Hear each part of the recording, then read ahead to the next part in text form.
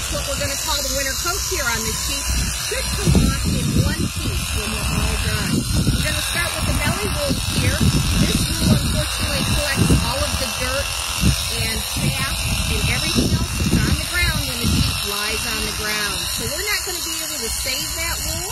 It is too short and it is also too dirty in order to make a hat, a coat, or a sweater out of it. So we will actually put that wool to the side